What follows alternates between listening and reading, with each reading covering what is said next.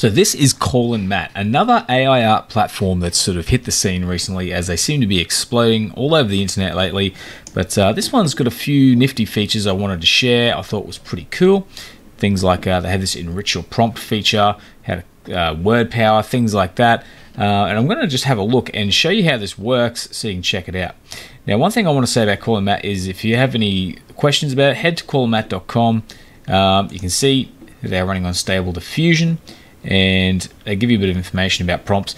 If you want to sell, uh, they are generally asking that you add a link to their website. But uh, otherwise, some of the artwork here is actually not too bad. Some of the faces aren't as good as some of the more premium platforms, but um, still some really good layouts and art styles here to play with. So let's go in and check it out. As usual, we have a nice little community feed of images. You can click on these images, and it will bring it up into the prompt so you can try it straight away if that's what you want to do. And uh, as usual, you can just explore, try the prompt, but what we're going to do is create our own prompt. Now I'm using a free account. I have 20 credits, which generally I think it's about half a credit per generation.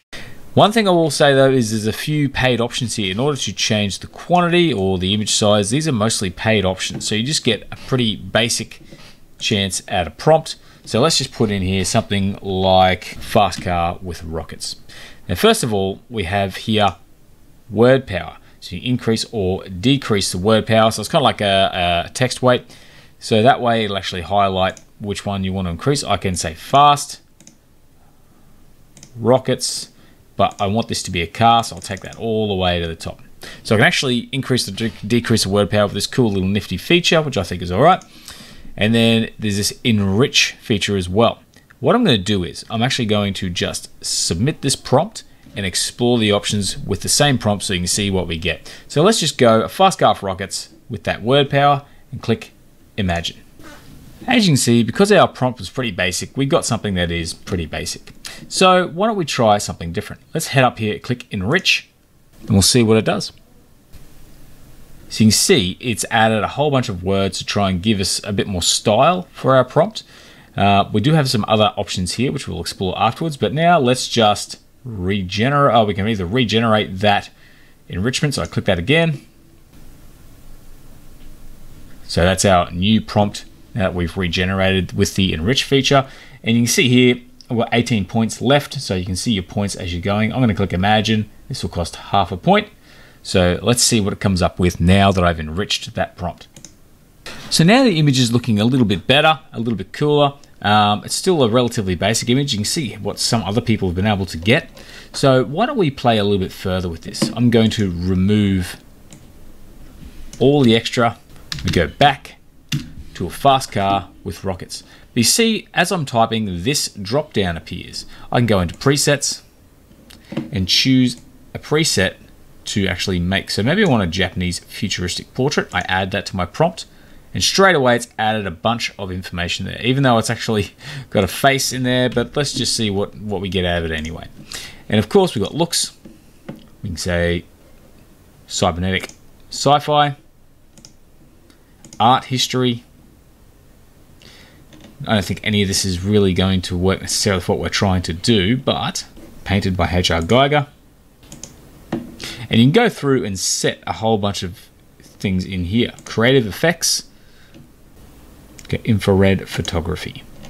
So now by choosing a whole bunch of these extra effects, we can further customize our prompt based on what we see. So let's imagine that again and see what results we get.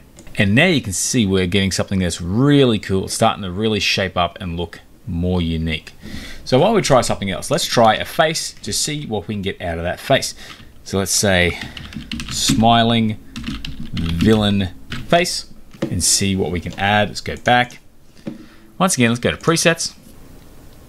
We'll try dreamy portrait. Portrait photo styles. I, don't, I like the idea of mixing some of this up to see what, what comes out.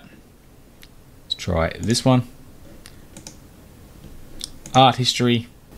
Mixing up the portrait style with graffiti art urban public art, see what we come up with. Mood, negative mood, even though the person is smiling. so once again, going through and just picking out what we think will look really cool. I'm going to leave that too. Let's try that and see what we get again. So we have our smiling villain face, and uh, it's not too bad. So you can download this image if you want to, and keep it aside on your computer, that kind of thing.